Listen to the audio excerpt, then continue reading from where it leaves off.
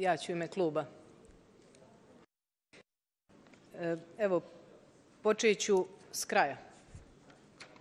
Vezano za ovaj informacijoni sistem, da nije primjereno da se u zakonskom rješenju ne navede barem okvirno koliko će to koštati.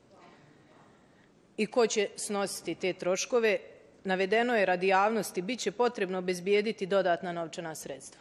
To sad može biti, ja ne znam, ja evo ne znam, mogu da, da, da cijenim 3, 5, 7, 10, 12, 17, kako je bilo u šumama, to su ogromne razlike između ovih cifara za budžet Republike Srpske.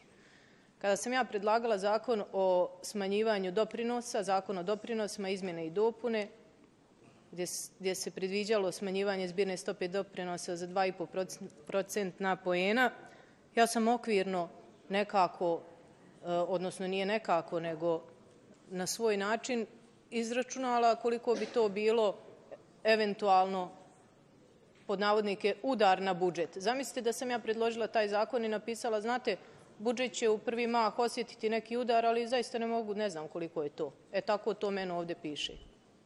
Tako ja to čitam.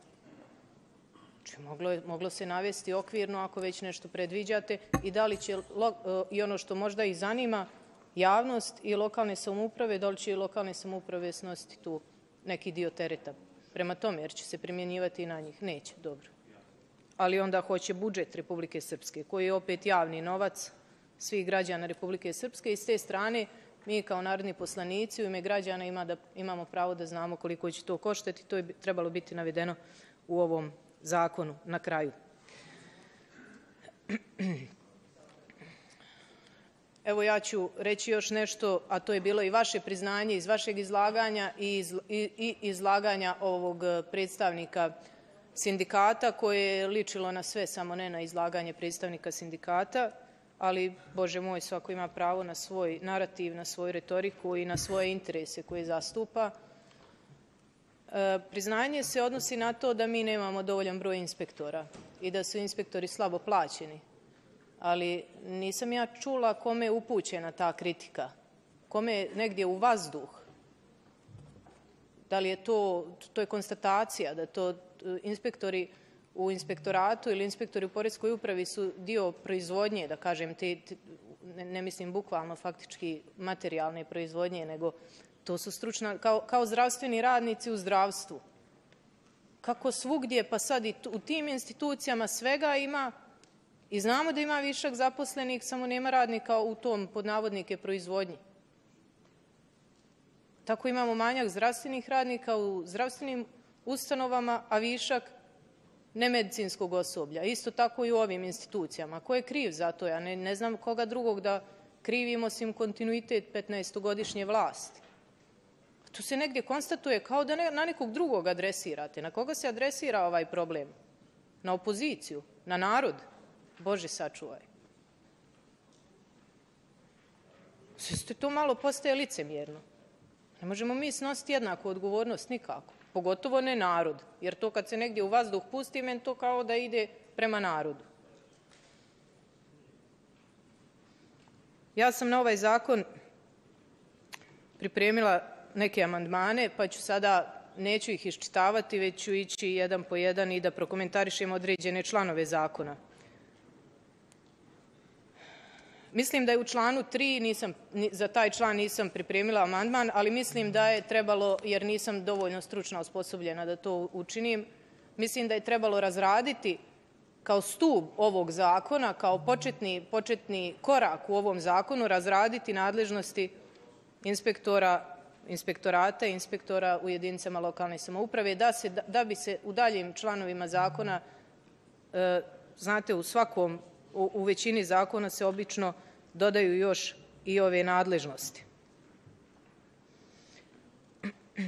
Jer to je dalje temelj koji vuče dalje reperkusije za, pojedine, za druge članove zakona. U članu, u članu 7 predlažem u amandmanu da se doda novi stav 4 koji glasi da je inspektor, inspektora dužan da ovim šestomjesečnim izvještajima ne obavijesti samo vladu, kako je predviđeno ovim članom, nego i cjelokupnu javnost na pogodan način. Zašto? Pa zato što to radi i Poreska uprava na određen način. Da li je dovoljno ili ne, to možemo da ocjenjujemo, a to bi trebao da radi inspektorat u cilju njegovog transparentnijeg poslovanja i u cilju upravo ovoga što je, što je rečeno sa svečane govornice, da se skine ta ljaga sa toga, sa te mantre ili dogme ili kako već, a koja postoji i sigurno da je u nekoj mjeri osnovana, da je to jedna korumpirana institucija. Na način da ona o svom radu izvještava cijelokupnu javnost i na taj način čini svoj rad javnim. Jer to kada jedna vladina institucija obavijesti samu vladu, to meni ništa ne znači. To je kao da razmjenjujemo mišljenje Igor Crnadak i ja. Ako mi želimo da je to naše mišljenje iskreno javno, onda ćemo mi o tome da obavijestimo javnost. Mislim da je to potpuno nešto logično.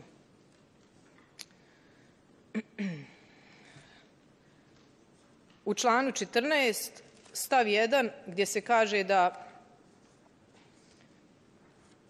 da inspektorat može u okviru inspekcijskog postupka zatražiti mišljenje, e, ovo treba zamijeniti riječima E, sve relevantne podatke i činjenice zato što se ocjena činjeničnog stanja vrši na osnovu dokaza, a ne mišljenja. I vezano za član 13 gdje, gdje e, predviđate koordinaciju aktivnosti između inspektorata MUPA i Poreske uprave, u redu je da, da vi osnujete neko zajedničko tijelo, da razmjenjujete da razmijenjate mišljenja i podatke i da izvještavate o tome vladu. Nisam to, nisam to napisala, ali možda bi trebalo obavijestiti i Narodnu skupštinu, kao što imamo komitet za, na, za nadzor nad finansijskim sektorom koji također obavještava i Narodnu skupštinu. Mislim da je ozbiljna problematika sa kojom bi trebala da bude upoznata ne samo vlada, nego i Narodna skupština, jer ovdje ipak sjede predstavnici direktno izabrani od naroda koji u ime naroda treba da imaju uvid u rad inspektorata. Upravo iz onog što sam i prethodno rekla, u cilju njegovo, njegovog transparentnijeg, javnijeg rada eh, kako bi se kako bi se sa takvih važnih institucija skidala ta, ta, ta neka dogma da su sve te institucije u, u svojoj osnovi korumpirane. Ja to ne govorim, ali to postoji jedno uvriježeno mišljenje. Ja mislim da ste vi njega svjesni i da ga treba popravljati. Ali ne samo zakonima, jer ovaj zakon može da bude dobar, kao što sam rekla za zakon o visokom obrazovanju koji je prilično bolji u odnosu na prethodni zakon, ali to ne znači da će sam zakon kao zakon popraviti stanje u visokom obrazovanju. To treba raditi e, svakodnevno, svakodnevnim aktivnostima i samom primjenom zakona. To što će nešto pisati na papiru uopšte ne, ne znači da će biti tako provedeno. U članu 15 u stavu 4 riječi kontrola i naplate doprinosa i tako dalje, trebalo bi zamijeniti riječima i o svim eventualnim spoznajama obavijeste Poresku upravu Republike Srpske, zbog toga što inspektori inspektorata nemaju stručno osposobljeno za kontrolu poreza i doprinosa. Ovdje dolazi do preklapanja. Vi e, propisujete ovim zakonom nešto, za, e, nešto što je propisano već zakonom o poreskom postupku, što ne bi trebalo da se preklapa. Dakle, Mislim da je to također potpuno logično. U članu 35 trebalo bi dodati i riječi u stavu 1 po zahtjevu predstavkama stranaka. Zašto to govorim? Član 35 kaže da se podstupak inspekcijskog nadzora inspektor pokreće i vodi po službenoj dužnosti. Dakle, ovdje i po predstavkama stranaka, zato što je sam član 2 ovog, odnosno stav 2 ovog člana to i podrazumijeva, pa bi trebalo dopuniti stav 1 i time da se to može pokrenuti i po predstavkama stranaka, jer to predviđa sam stav 2.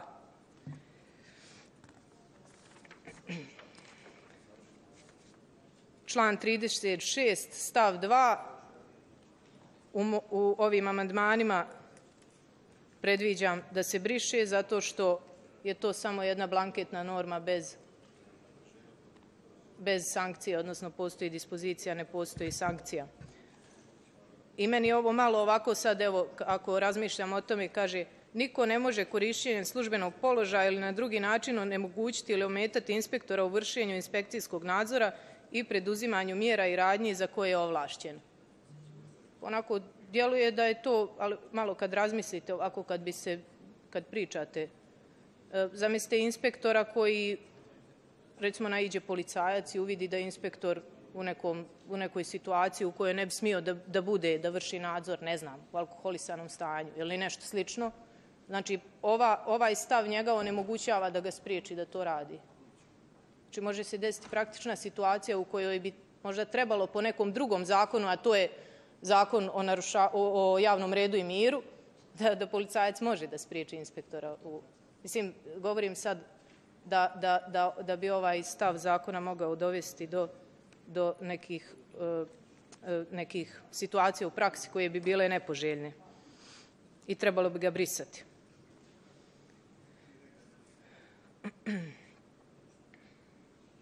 E sad, u članu 39 nemam prijedlog za, kao amandman, ali imam jedan komentar za razmišljanje, možda za kasnije izmjene i dopune zakona. Kaže stav 1. U vršenju inspekcijskog nadzora inspektor je obavezan da najavi kod subjekta nadzora obavljanje inspekcijskog pregleda, osim ako bi najava umanjila uspješnost inspekcijskog nadzora. To je sad ostavljeno na ostavljeno je onako na razmišljanje ka, kada najava umanjuje obavljanje uspješnosti inspekcijskog nadzora. Ne znam, evo, za razmišljanje da li bi trebalo brisati ovaj, ovaj stav da se može, e, jer ipak i u zakonu o porezkom postupku je takav da, da je moje mišljenje, neko moje mišljenje je da da najava inspekcijskog nadzora ipak onemogu, sama po sebi u, svom, u svojoj suštini onemoguć, onemogućava uspješnost inspekcijskog nadzora. Evo nisam pripremila amandman jer i ja nisam potpuno sigurna na koji način bi se to, jer ovako je nedovoljno definisano, a koji je to prag koji kaže aha, sada će se umanjiti uspješnost inspekcijskog nadzora. To je znači ostavljeno inspektoru da, da na, na, na odlučivanje. I u tom kontekstu također u članu 67 u stavu 4 riječi, pa ću pročitati samo taj član, član 67 stav 4 kaže ukoliko inspektor ocijeni da, da izvršenik i pored izrečene naučene kazne iz stava 2 ovog člana neće postupiti po rješenju, može mu zabraniti obavljanje djelatnosti ja bih ovdje stavila izričemu zabranu, jer je i ovdje ostavljeno može, a ne mora. I to uvijek ostavlja prostor za eventualne koruptivne radnje. Ako on može, a ne mora, znači onako kako naš narod razmišlja, ajmo se dogovoriti. Što ne bi smjelo da, da zakon ostavlja tu mogućnost. Ja mislim da je ovdje za same inspektore bolje da piše izričemu zabranu.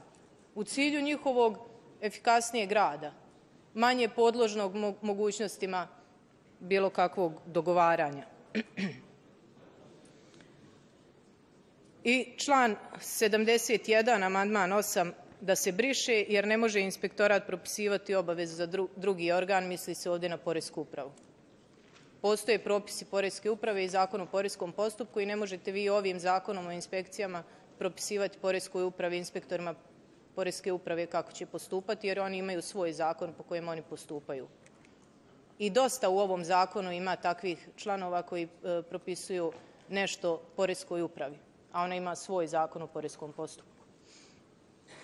I to je loše u praksi. E, evo, navišću evo, sad i, i ovaj zakon o zaštiti uzbunjivača koji je skinut sa dnevnog reda upravo iz sličnog razloga je obrazloženje da postoji drugi zakon koji reguliše materiju pa da ne bi dolazilo do preklapanja, eventualnih nedoumica i u praktičnoj primjeni do, e, do, do štetnih posljedica preklapanja pojedinih zakonskih rješenja. I ja bih još na kraju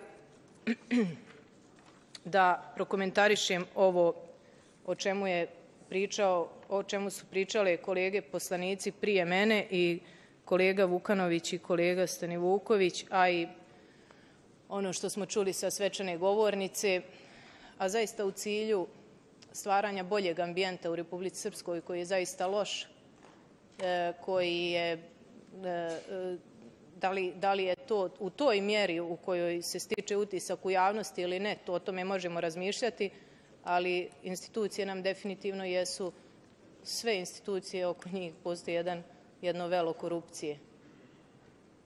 I u tom pravcu razmišljanje, da možda onaj e, član, ne znam sad na pamet koji je, koji, koji tretira obavljanje dodatne djelatnosti za, inspek, za inspektore, da li je bolje inspektorima povećati plate, jer zaista su im plate male. To je nivo plata koji je zaista nizak za posao i teret koji oni snose. Da li je bolje da imamo više plate? Zato i nemamo dovoljan broj inspektora na kraju krajeva i zbog tih niskih plata. A da li, da li im treba ostaviti mogućnost u izuzetnim slučajevima da obavljaju dodatne djelatnosti ili da ne mogu obavljati dodatne djelatnosti, ali da imaju, da imaju jednu solidnu, normalnu platu koja je dovoljna, odnosno koja je protiv vrijedno zapravo njihovog uloženog rada. Govorim sad i sa aspekta inspektora, ali i sa aspekta onih koji, eh, na koje se njihove aktivnosti odnose. I evo, to su bili neki prijedlozi konkretni za izmjene ovog i dopune ovog zakona, odnosno kroz amandmane za prijedlozi za korekciju ovog zakona u nekim, u nekim članovima, a E, problematika je jako složena, jako teška i molim da, evo, ako može u vašoj riječi konkretno za dvije stvari, amandmane ćete, kad budemo izglasavali, prihvatiti ili odbiti, to mi je jasno, da ne morate sad komentarisati, ali ako može u završnoj riječi na dvije konkretne stvari da mi odgovorite e, ko je kriv zašto imamo malo inspektora i e, ovo vezano za informacijani sistem, imate li vi procjenu okvirno koliko će to da košta? Hvala.